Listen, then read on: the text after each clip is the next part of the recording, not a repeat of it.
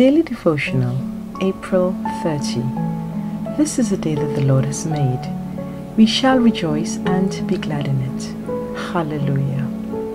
Father God, I magnify your name for obedience.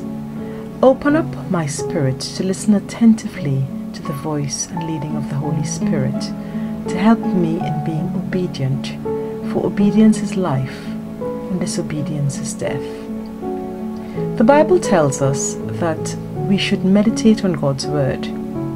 To meditate is to ruminate, to chew over, like a cow chews its cud. The picture may not be very attractive to the squeamish, but this action aids in the digestive process of the animal. So God advises us to chew His Word over and over. Bring it back up and chew over it until it dwells richly. God told Joshua that he should always keep the book of the law on his lips, to meditate on it day and night, to be careful to do everything it says, so he could have good success. But apart from God's word, it is a good practice to meditate on certain things that make up life's core issues. The Bible tells us that Mary, the mother of Jesus, pondered certain things in her heart this can only mean that she meditated upon them, wondered at their meaning and significance, and how they would affect her life and the life of those around her. What is there in our lives apart from God's Word that we need to meditate on, to mull over, and to submit to the Holy Spirit? Then to hold within us and see how the matter turns out. Do we meditate upon our words and their impact upon others?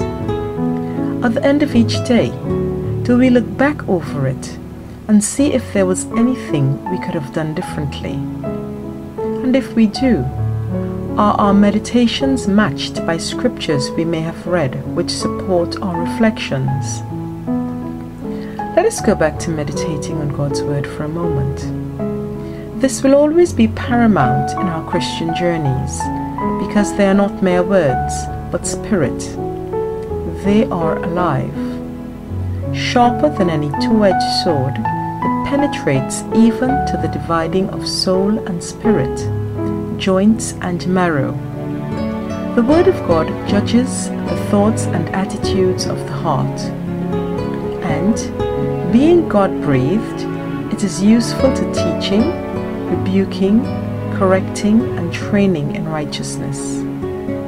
So, a thorough meditation of our lives is first subject to a sound meditation of God's Word. Lord Jesus, my Heavenly Father, Great High Priest, Redeemer, today I honor and magnify you, for you have given us your Word. You have given us yourself. I bless you. I bless your name. Thank you.